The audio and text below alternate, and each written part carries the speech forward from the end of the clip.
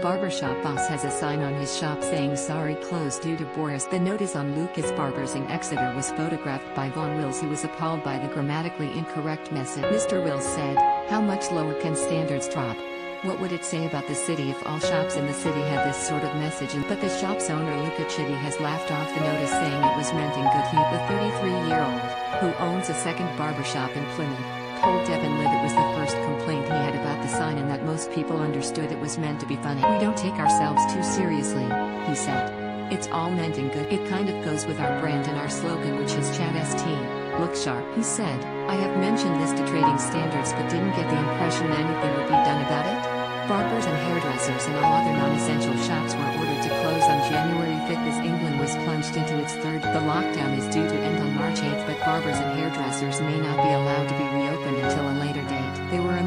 last businesses to be allowed to reopen after the first lockdown. It's expected that restrictions will be lifted gradually, and England will return to the tier system. This means that different parts of the country will be subject to different